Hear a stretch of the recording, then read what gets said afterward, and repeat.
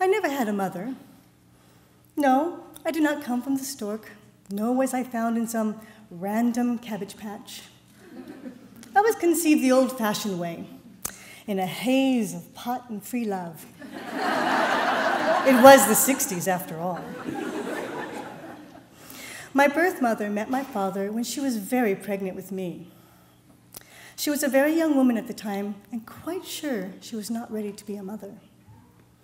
My father was more than ready to be a mom.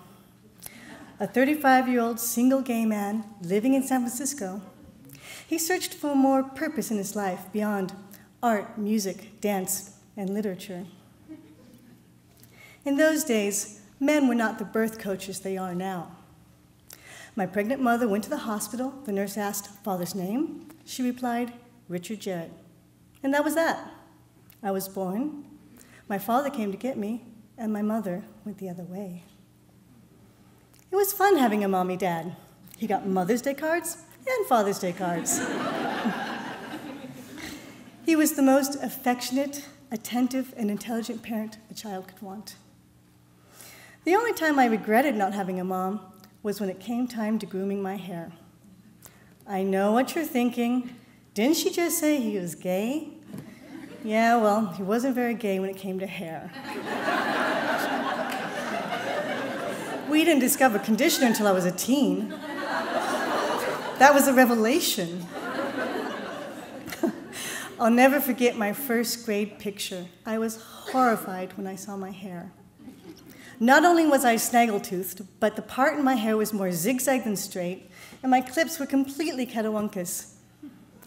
You can be sure that the following year, I befriended my second grade teacher. She was an expert French braider. I did have a habit of adopting a mothers along the way teachers and babysitters, even a few friends that were older than me. But in all honesty, Richard was my everything. He was my sun and moon and stars, and he shared with me all of his brilliance and love. We were inseparable. He took me to the opera, the ballet, the symphony. I used to roam the corridors of the Opera House in San Francisco, gaping at the vaulted ceilings and elaborate chandelier. Even though we were poor, I never lacked for anything. My every essential need was met. I'm not talking about the need for clothing and housing and food. I'm talking about the need for security, patience, unconditional love, mutual trust, respect, and admiration. Spiritual guidance. He was the most spiritual atheist I ever met. Once, when I was still fairly young, say 10 or 11, my father had me in tears. We were talking about having purpose in life. His words were so profound, yet deliciously simple. I cried because of the sublime truth of it. I cried because I understood. And although I did not thank him at the time, I knew it was an amazing gift he was giving me. We built our relationship with hard work. We did not take our love for granted. I remember one time in high school, I asked my dad if I could drop acid and go see Fantasia with my oh so cool friends. he said no. I asked why. His reply was drugs kill brain cells and you don't get them back. Well, I initially thought, okay, I can still go if I want to. I have all kinds of freedom and independence. But he made sense. And it wasn't hard, really, to decide not to go. A betrayal of his trust would have been devastating. When it came time to address the whole SEX issue, man, he was brilliant. He just put it to me straight, no pun intended. he said, You're going to start to have urges and desires. They are natural. I only ask that before you do anything, that you come see me so that we can go to the doctor and get birth control. I totally fled, embarrassed and overwhelmed at the time.